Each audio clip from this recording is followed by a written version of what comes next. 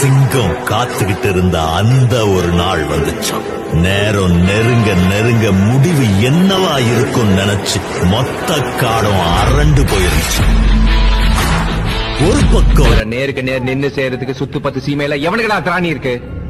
அது புலி.